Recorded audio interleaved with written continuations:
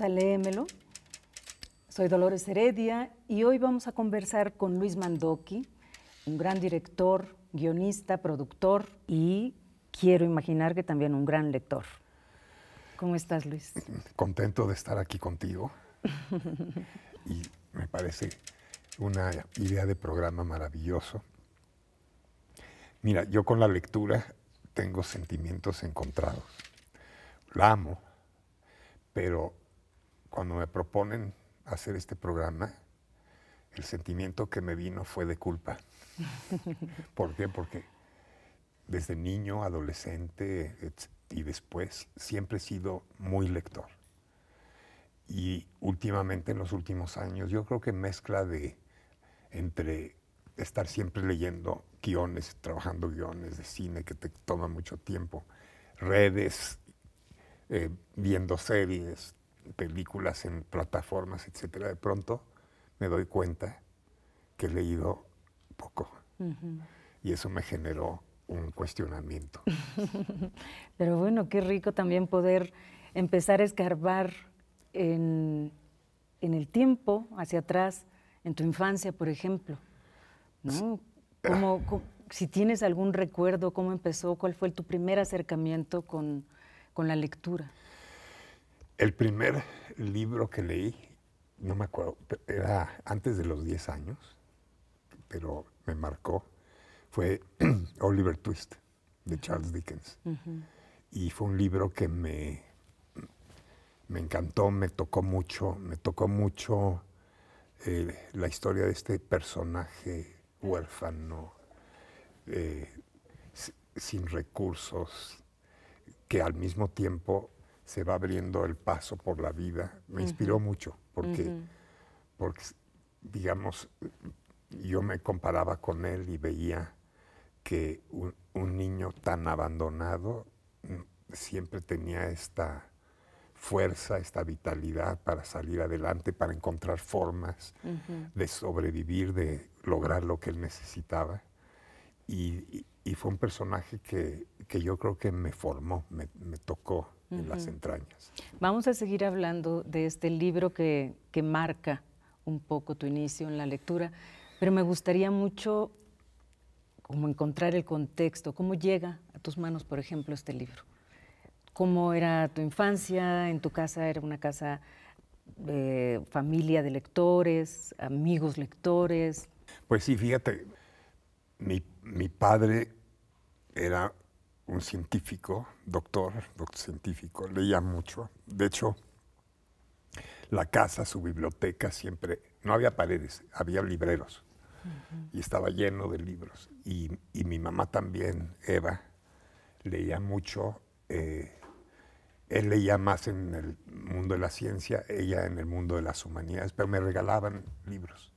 Pero los regalos de, de los libros era, era algo que yo no lo vivía como una imposición, sino como un acompañamiento, como un despertar. Entonces me daban un libro, yo lo abría y lo empezaba a leer.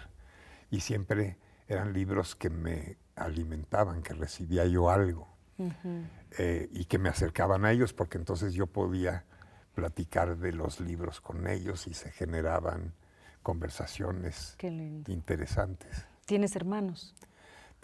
soy el mayor de, de cinco hermanos. Me sigue un hermano, Pablo, y tres hermanas. También lectores y apasionados de los libros, me puedo imaginar. Sí, sí. Y yo leía los libros y y los guardaba en mi librero. Y decía, algún día mi librero crecerá como el de mi papá. Así tienes una afección también por el libro como pieza, como algo físico. Sí, y, digamos, y, diferentes tipos de libros, porque digamos, por ejemplo, cuando estaba yo en la secundaria, mis papás se habían divorciado, fue un, fue un evento traumático en mi vida yo me fui a vivir con mi papá, era el único de los cinco hermanos que se fue a vivir con mi papá. Y en el libro de mi papá detecté un libro que por alguna razón me llamó la atención. Él se llamaba Summerhill, que es un libro sobre una escuela en Inglaterra de un maestro, ella es Neil, que hablaba de que no había ni reglas ni castigos, era una escuela totalmente libre. Ese libro me transformó, eh, me volvió muy rebelde también. Y luego, años después, se volvió un instrumento también de, pues, de mucho pensamiento, de mucha reflexión. ¿Hubo libros o crees que hay libros que en nuestra infancia determinan un poco, digamos, como el gusto por un cierto tipo o género de lecturas? En, el, en tu caso, se marcaron ciertas, eh, digamos, ciertos renglones que hicieron que tú te fueras por un género u otro? Sí, yo creo que siempre fueron libros de viajes humanos, o sea, de travesías de personajes, seres humanos, enfrentando obstáculos, eh, lidiando con adversidades y que de alguna manera yo creo que marcaron también mi cine, o sea, eh, que me llevaron también quizá al descubrir que yo quería, o sea, porque yo no soy de los directores que a los cinco años ya tenían cámara y dijeron yo voy a ser cineasta. O sea, yo primero entré al, a las artes plásticas, pintura, escultura, luego descubrí la foto, luego descubrí el teatro y pronto dije, el cine abarca todo. pero, pero fue la literatura lo que fue acompañando eso. O sea, de pronto cae en mis manos un libro de Igmar Bergman. y, y, eso fue muy formativo y fue lo que también me despertó esa pasión por el cine. Hermoso. Pues vamos a a leer un fragmento de este libro que, como bien dijiste hace un momento, fue un libro que marcó tu infancia. Eh, Charles Dickens, Oliver Twist, y voy a leer este fragmento que, que escogiste.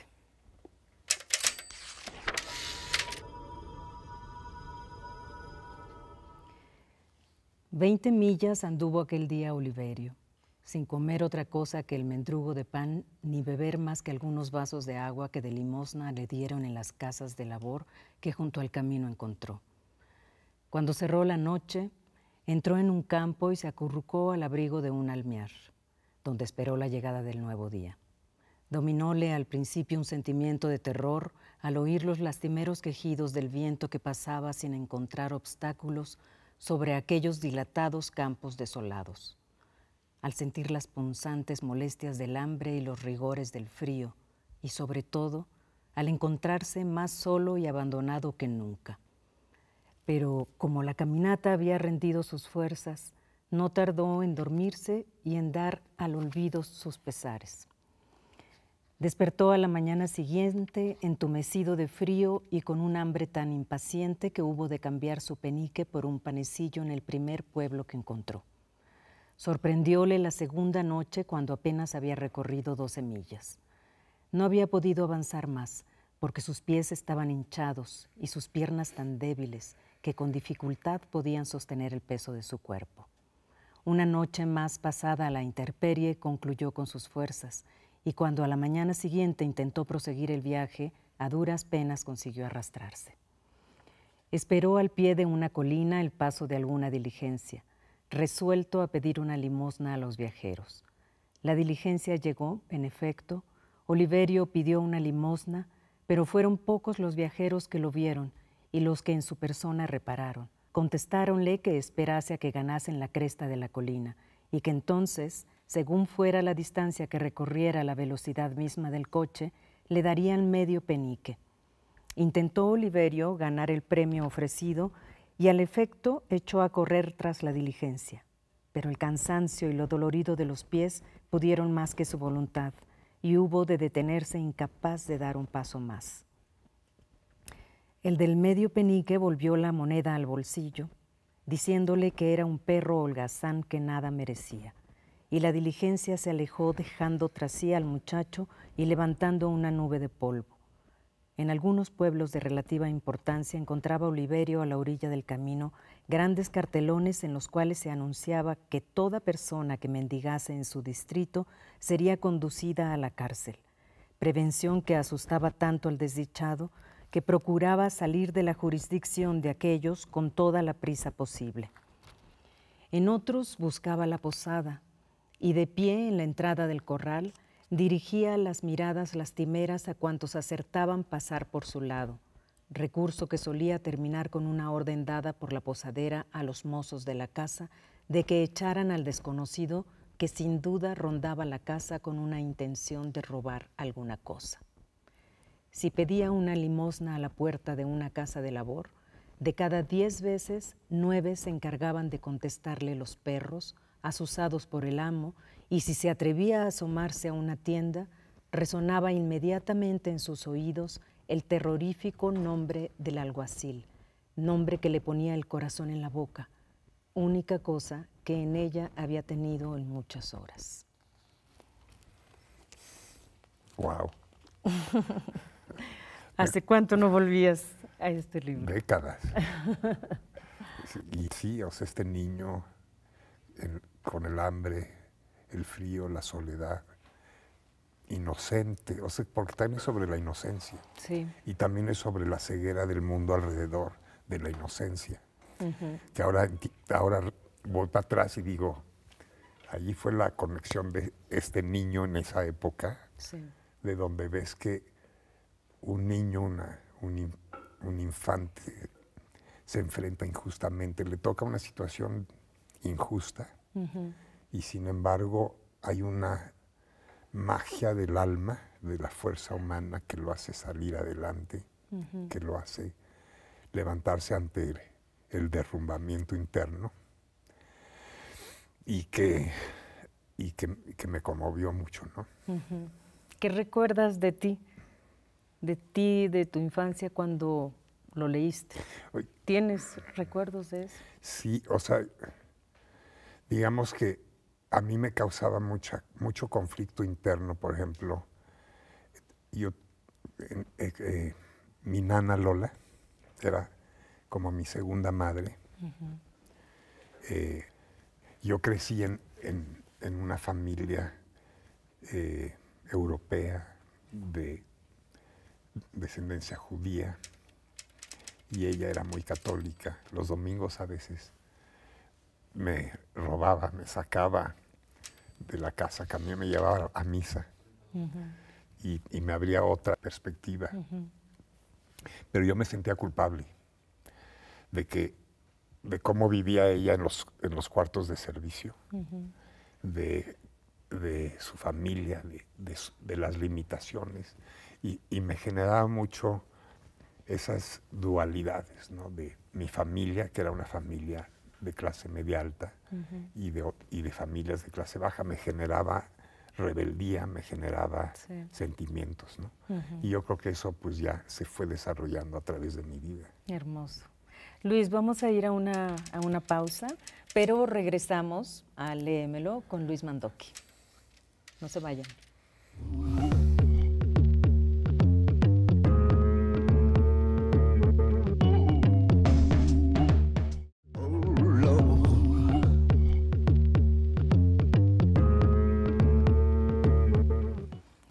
Estamos de regreso en Léemelo y seguimos con nuestro querido Luis Mandoki. En esta sabrosa conversación, Luis, de verdad es un placer estar conversando Más contigo. El mío. ¿Tú lees muchos libros sobre cine? Sí, claro.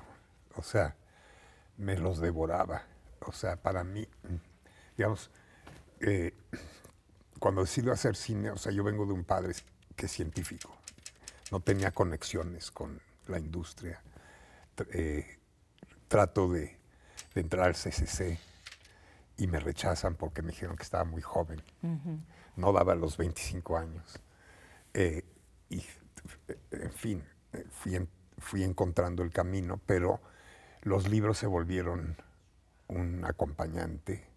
Y hubo un libro especialmente que descubrí, es un libro chiquito, que se llama Lecciones con Eisenstein que lo escribe un alumno suyo, Vladimir Nizhny. Y es un libro que para mí fue clave porque es, va reportando las clases de Eisenstein con sus alumnos. Y, de lo que trata ese libro es no de la técnica, sino de eh, cómo pensar como director, cómo cuestionar desde cómo armar una escenografía, un set, hasta cómo armar luego la puesta en escena y luego cómo armar la puesta en shot. Entonces, eso fue así como mi maestro, ¿no? ¿Cómo? Porque fíjate, esto es, desde hace rato te quería preguntar, a lo largo de tu vida también, ¿cómo, cómo fuiste encontrando esos libros? Ya, ya nos contaste en tu infancia, tú creciste en una casa llena de libros y luego uno se va de casa y va eh, teniendo por fuerza que encontrar como una especie de estructura. Lees de todo, lees varios libros al mismo tiempo. Eh, ¿Cómo fuiste encontrando estos libros? ¿Cómo te llegó, por ejemplo? Sí, bueno, primero eh, conseguí una beca para estudiar cine en el Instituto de Arte de San Francisco. Y estuve ahí muy poco tiempo porque la escuela se me hizo demasiado experimental. Pero me iba yo a la biblioteca y en la biblioteca me iba a la parte de cine y iba a las librerías y expulgaba hasta que encontraba. Y, era, era como abrir un mundo. Entonces, eh, sí leía varios libros simultáneos, eh, iba de uno a otro, era como una, una voracidad de hambre, de, información tenía prisa. Qué hermoso. ¿Tú crees que un libro, o en, en tu caso, no vamos a generalizar, en tu caso, un libro puede inspirarte para hacer una película? Claro. ¿Cómo, cómo, cómo ocurre eso?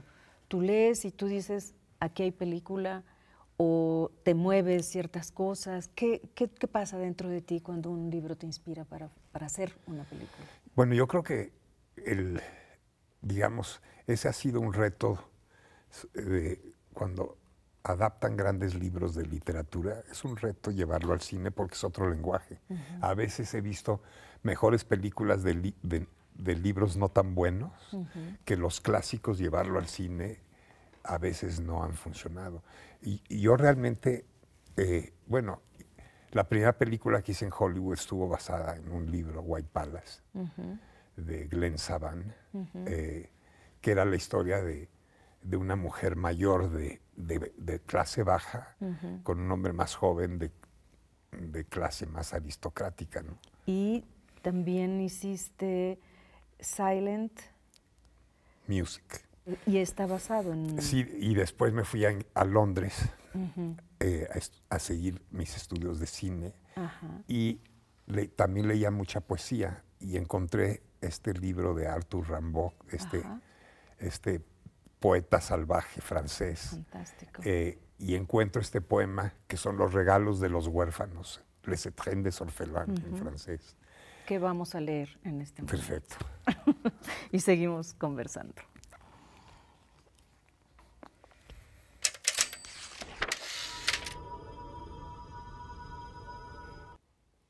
La habitación llena de sombra Vagamente se oye el triste y suave cuchicheo de dos niños. Sus frentes se inclinan, aturdidas aún por el sueño, bajo el largo cortinaje blanco que ondea y se levanta. Afuera, los pájaros se acurrucan temblorosos, sus alas se adormecen bajo el tono gris de los cielos, y el año nuevo, con su séquito brumoso, arrastrando los pliegues de su nevada vestidura, sonríe lleno de lágrimas y canta tiritando. Los niños bajo la cortina ondulante hablan quedo como suele hacerse en una noche oscura. Escuchan, pensativos, como un lejano murmullo. A menudo les estremece la nítida voz dorada del timbre matinal que tañe y tañe sin cesar su cantinela metálica en su fanal de vidrio. La habitación está helada. En el suelo se arremolinan esparcidos alrededor de las camas sus trajes de luto. El áspero cierzo de invierno, gimoteando en el umbral, insufla en la casa su hálito taciturno. Se nota que en todo aquello falta algo. ¿No existe acaso una madre para estos niños, una madre de sonrisa tierna y miradas triunfantes? Ella, de noche, sola y cabizbaja, habrá olvidado, quizá, avivar una llama en la ceniza extinta, arroparlos con la lana y el edredón antes de abandonarlos gritando, perdonadme. ¿No habrá previsto acaso el frío de la mañana, ni cerrado bien la puerta al cierzo invernal? El sueño materno es la alfombra tibia, el nido de algodón en que los niños, acurrucados como esos pájaros hermosos que se mecen en las ramas, duermen su apacible reposo lleno de blancas visiones. Pero ay, esto es como un nido sin plumas, sin calor, donde los pequeños sienten frío, no duermen, tienen miedo un nido helado seguramente por el amargo cierzo. Vuestro corazón lo ha comprendido. Estos niños no tienen madre, ya no hay madre en el hogar, y el padre está lejos. Por eso una vieja sirvienta se ocupa de ellos.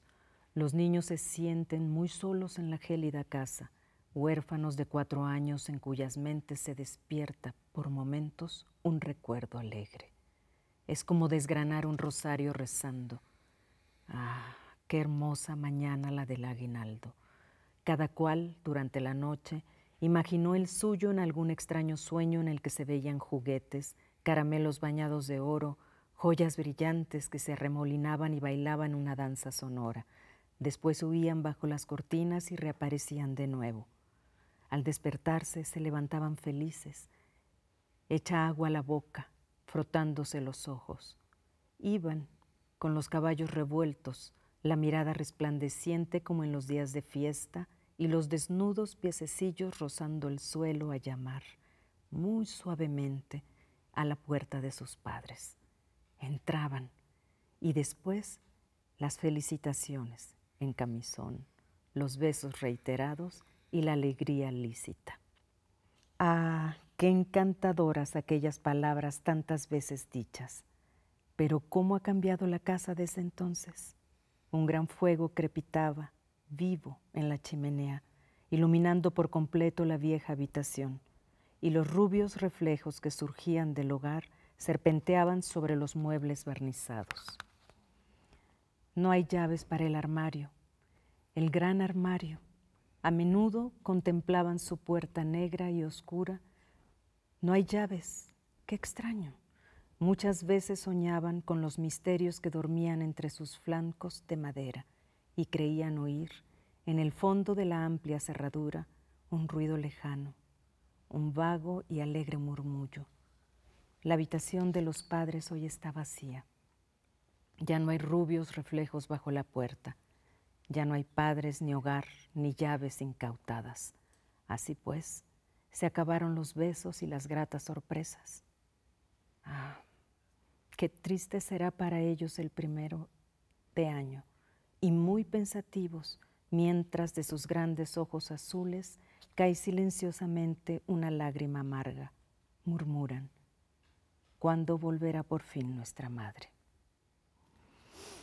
Ahora los pequeños descansan tristemente. Al verlos se diría que lloran mientras duermen, pues sus ojos están hinchados y respiran con dificultad. Los niños muy pequeños tienen un corazón tan sensible. Pero el ángel de las cunas viene a enjugar sus ojos y en su pesado reposo introduce un sueño alegre, un sueño tan alegre que sus labios entreabiertos, sonrientes, parecen murmurar algo.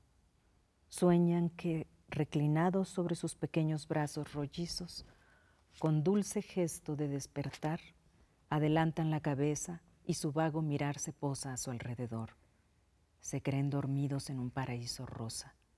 En el hogar lleno de destellos, canta alegremente el fuego.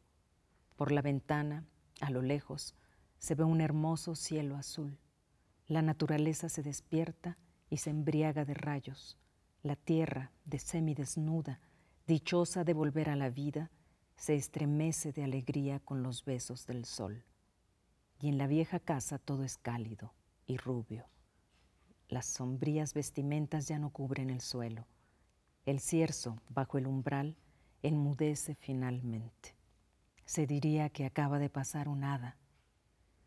Los niños felices han dado dos gritos.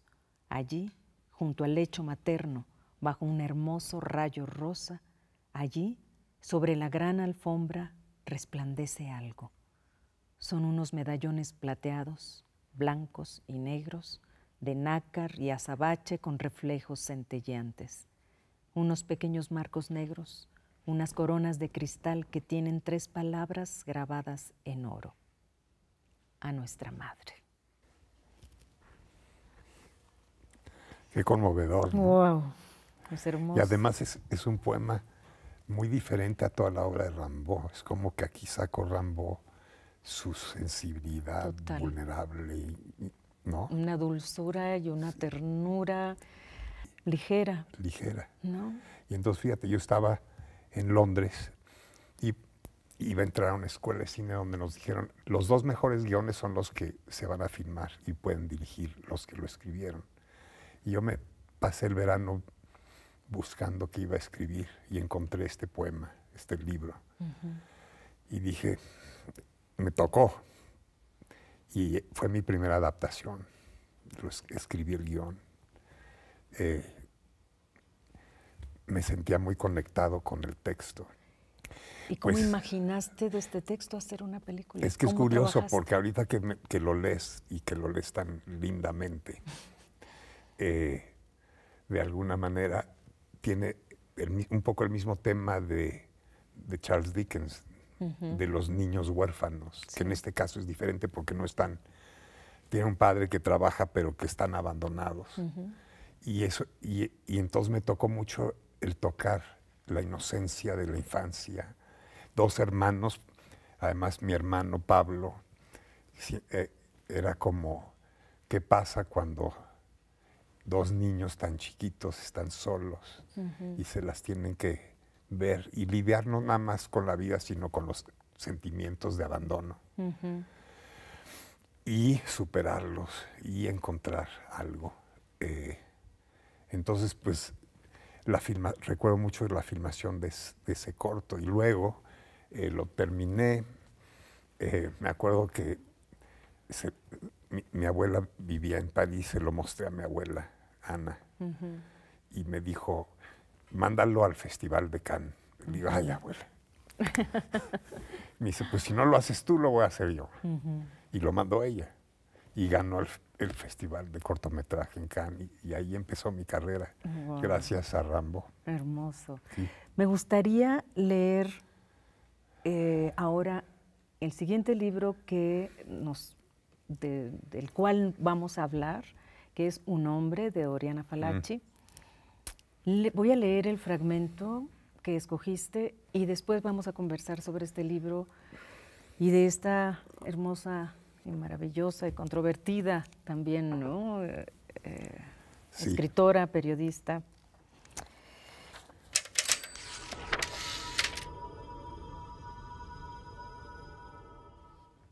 La costumbre es la más infame de las enfermedades porque te hace aceptar cualquier desgracia, cualquier dolor, cualquier muerte. Por costumbre se vive junto a personas odiosas, se aprende a llevar cadenas, a padecer injusticias y a sufrir. Se resigna uno al dolor, a la soledad, a todo.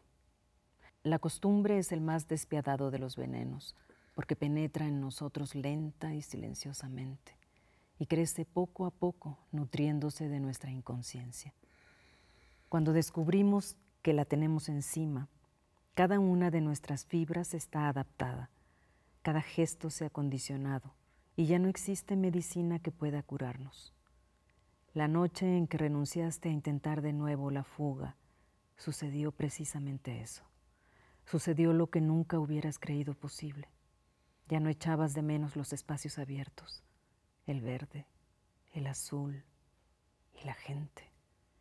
En verano, cuando el sol se filtraba por el techo de la antecámara y formaba en el pavimento de aquella un halo compacto de luz.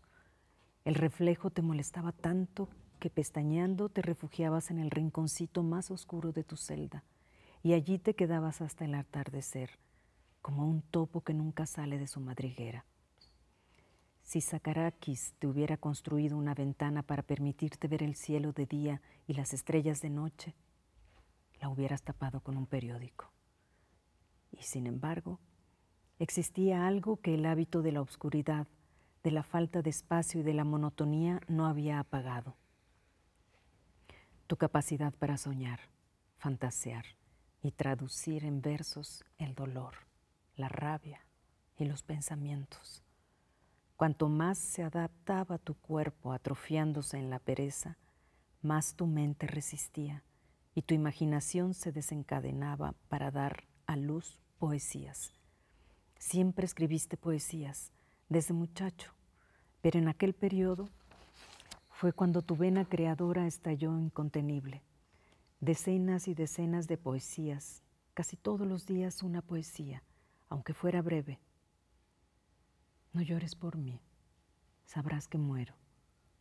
No puedes ayudarme, pero mira aquella flor. Te digo aquella que se marchita, riégala. O esta otra. Amé tanto la luz que conseguí encender una vela, pero desaproveché aquella opaca y exigua luminaria, pues antes que disfrutarla, desesperé por proyectar en otro lugar una oscuridad pesada, porque la misma luz que mantenía con la sombra de mi cuerpo colmaba de negrura mis caminos. O bien, no te comprendo, Dios. Dime otra vez, ¿me pides que te dé las gracias o que te perdone? Las escribías aunque Sakarakis te secuestrara el papel y la pluma, pues entonces tomabas una cuchilla que guardabas para este fin, te cortabas la muñeca izquierda, sumergías en la herida una cerilla o un montadientes y escribías con sangre todo lo que había a mano, el envoltorio de una gasa, un trozo de tela, un paquete vacío de cigarrillos. Luego esperabas que Sakarakis te devolviera el papel y la pluma y copiabas con caligrafía pequeñísima, atento a no desperdiciar un milímetro de espacio Doblabas la hoja, obtenías tiras finísimas y las mandabas a que contaran al mundo la leyenda de un hombre que no cede ni ante la costumbre. Doña Oriana Falachi, ¿qué se inaugura en tu vida con, con Oriana? Con Oriana, con un hombre. Oriana Falachi fue una periodista que escribió cosas muy importantes este libro es un libro muy personal, porque es el libro de su relación amorosa con Alekos Panagoulis, que fue un luchador social en Grecia en, los, en el tiempo de la dictadura de Papadopoulos, que se enfrentó a, esa dictadura eh, y que terminó en la cárcel. Y lo que, es, lo que a mí me conmovió mucho es eso, ¿no? Es cómo, cómo vive esa injusticia, eh, cómo se enfrenta a la tiranía sin perder la poesía, sin perder el amor, sin perder. Y, y, que, y, y, hay un, otro fragmento del libro que, que recuerdo donde eh, está preso es torturado para que hable de las gentes que conoce. y, lo que hace es que empieza a, decir poesía en las noches, a cantar poemas en las noches, a toda voz, para torturar a los celadores. Y entonces se vuelve el torturador de los torturadores. Y entonces esos, eh, esos pasajes me, asombraban mucho de cómo el ser humano tiene esa capacidad valiente, heroica, de seguir un, un ideal. ¿no? ¿En qué momento leíste este libro? ¿En qué etapa de tu vida? Lo leí yo, híjole, yo creo, yo estaba viviendo en Los Ángeles. Yo creo que fue hace unos 15 años. Y de hecho, yo quise eh, filmar esta película. Y Oriana, que ese es mi enojo con Oriana Falachi, no quiso dar los derechos, no a mí, sino dijo, esta es mi vida, este es mi mundo personal. Y, nunca se los vendió a nadie. Claro. Quizá ahora se puedan conseguir, pero, pero fue... Qué interesante. Sí. Cuando la leí también, yo, yo siempre la leía viendo películas. Sí. Viendo. ¿Verdad? Sí, me, me, fascina. Y el, personaje de Alecos se me quedó. De hecho, cuando muchas veces tienes que poner un seudónimo, pongo Alecos, firmo así. O sea, tuve una conexión muy fuerte con ese libro. Qué fantástico. Seguiremos conversando de esto, Luis. Y también me gustaría, igual lo, lo, haremos, vamos a, a, cortar, vamos a ir a un corte en un momento, pero me gustaría mucho tocar aunque sea brevemente, y qué conexión podría haber con toda esta etapa también como documentalista y tú, digamos, como un ciudadano muy comprometido con, eh, con, la realidad social del país, a donde decidiste regresar, además. ¿no? Me gustaría mucho que habláramos un poquito de eso. Volvemos.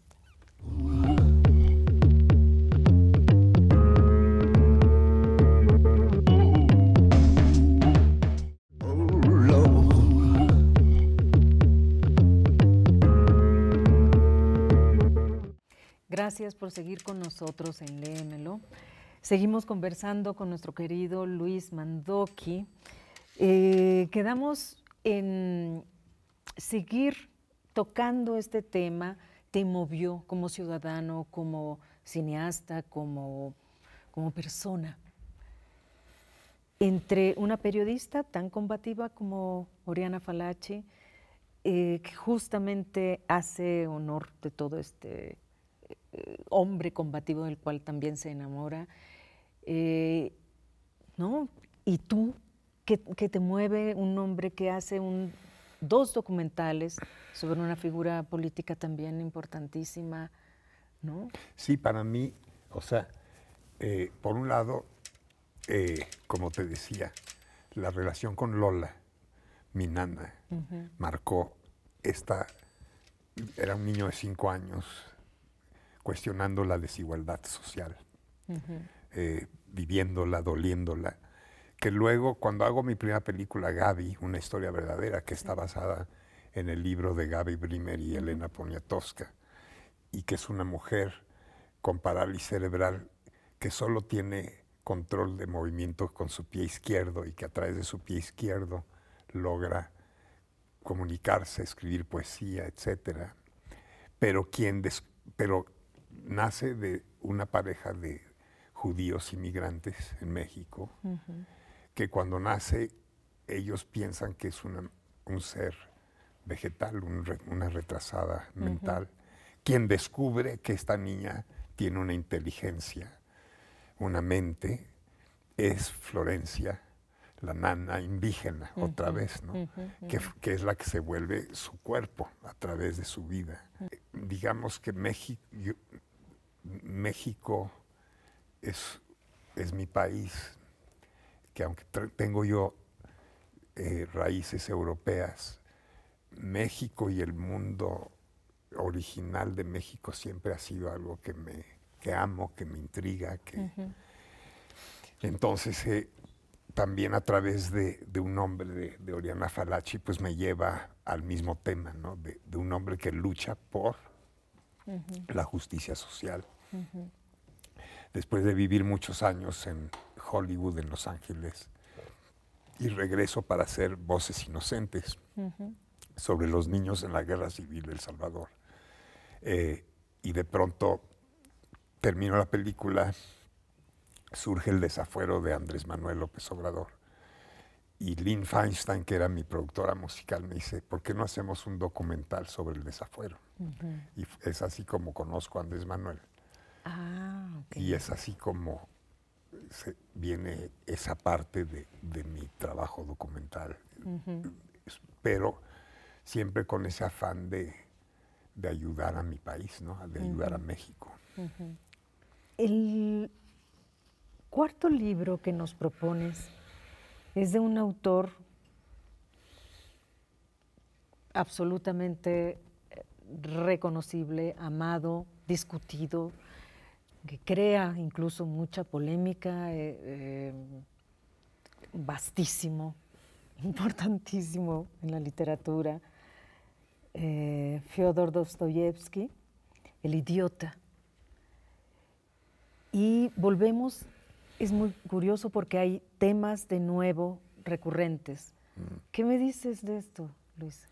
Estoy hablando como de estas oposiciones, el bien, el mal, el, oprimido, ¿no? En la visión de los, de los, del otro y la discriminación, podríamos decir también, son temas. Sí, las clases sociales. Clases sociales. El, personaje del idiota que tiene este amor secreto por una mujer que no le corresponde, eh, de cómo se vive la vida eh, con romances fantasiosos que no se llevan a cabo a la realidad hasta después de desperdiciar mucho tiempo, pero también de un hombre que se enfrenta también a...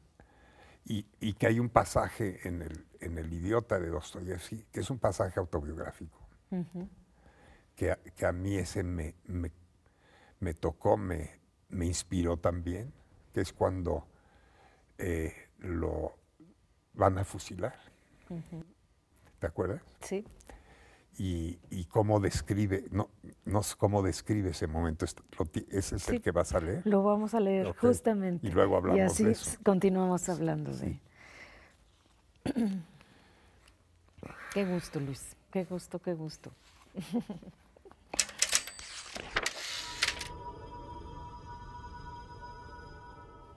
El condenado era un hombre inteligente, intrépido, entrado en años se apellidaba Legros. Pero créame, cuando le subían al cadalso lloraba. Estaba blanco como el papel. ¿Será posible una cosa así? ¿Acaso no es terrible? ¿Acaso se llora de miedo? Nunca pensé que de miedo se podía llorar, y no me refiero a un niño, sino a un hombre que jamás había llorado, un hombre de 45 años. ¿Qué ocurre en ese momento con el alma? ¿Hasta qué estado la llevan? Es una profanación del alma, eso es lo que es. Está escrito, no matarás. Si él ha matado, entonces hay que matarle. No, no se puede. Ha pasado un mes desde que lo vi y todavía lo tengo delante de los ojos. Cinco veces lo habré soñado. El príncipe hasta se animó. Mientras hablaba, un ligero color se dejó ver sobre su pálido rostro aunque su discurso sonaba igual que debajo que antes. El ayudante le seguía con un interés simpatizante, de tal forma que al parecer no deseaba apartarse. Es posible que él también fuese un hombre con imaginación y dado a reflexionar. Menos mal que el sufrimiento no es tanto, observó él, cuando la cabeza sale volando. Le diré algo, continuó con brío el príncipe lo que acaba de decir. Así es como piensa todo el mundo. Y la máquina se inventó para eso, la guillotina. A mí, sin embargo, me vino otra cosa a la cabeza. ¿Y si es peor? Le puede parecer ridículo, le puede parecer cruel, pero con un poco de imaginación hasta una idea como esa puede surgir en la cabeza. Piénselo. Por ejemplo, la tortura el sufrimiento, las heridas, el dolor corporal, todo esto distrae a uno del sufrimiento espiritual, de tal manera que uno sufre solo a causa de las heridas, hasta que acaba muriendo. Pero el dolor más importante, el más fuerte, puede que no esté en las heridas, sino en saber que ciertamente dentro de una hora, dentro de diez minutos, después dentro de medio minuto, después ahora, en este preciso momento, tu alma abandonará el cuerpo, en saber que dejarás de ser una persona y que es algo inevitable. Lo peor es que será inevitable. Cuando uno coloca la cabeza bajo la cuchilla y oye cómo se desliza el metal encima de la cabeza, ese cuarto de segundo es el más horrible. No son imaginaciones mías, ¿sabe? Lo dice mucha gente. Estoy tan seguro de que es así que directamente le diré mi opinión. Matar a alguien por haber matado es un castigo infinitamente mayor que el propio crimen. Un asesinato como sentencia es mucho más terrible que un asesinato como crimen. Aquel al que estén matando unos criminales, al que le estén clavando una navaja en el bosque o de cualquier otra manera, obligatoriamente tiene todavía la esperanza de que se acabara salvando hasta el último instante. Se han dado casos de hombres degollados que todavía tenían esperanza, que corrían o suplicaban. Aquí, esa última esperanza, con la que morir es diez veces más fácil, te la arrebatan inevitablemente. La sentencia consiste en que inevitablemente no escaparás. En eso consiste ese horrible suplicio, y no hay suplicio más fuerte que ese. Ponga a un soldado frente al cañón durante la batalla y dispare. Él todavía tendrá esperanza, pero léale a ese mismo soldado la sentencia inevitablemente y se volverá loco o romperá a llorar. ¿Quién ha dicho que la naturaleza humana es capaz de soportarlo sin caer en la locura? ¿Para qué esa injuria, ese horror innecesario, inútil? Puede que exista la persona a la que se le haya leído su sentencia, se le haya hecho sufrir y después se le haya dicho, vete, estás perdonado. Una persona así tal vez podría contar lo que se siente. Sobre ese suplicio y sobre ese horror habló Jesús. No, eso no se le puede hacer a un hombre. ¿Qué cosa? Es estruja el alma. Sí. Y, lo, lo, que después descubro es que es, una novela, pero este pasaje está basado en la experiencia de Fyodor Dostoyevsky, que fue... Cuando es mandado a, a, Siberia.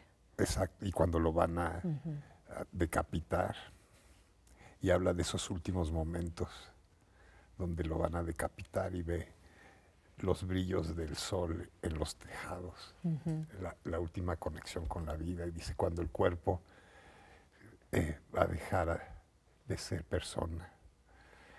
Eh, y de alguna manera eh, es, como es el misterio de la vida, ¿no? De cuando estás conscientemente frente al último momento y que después lo perdonan. O sea, fue una tortura la idea de de la decapitación.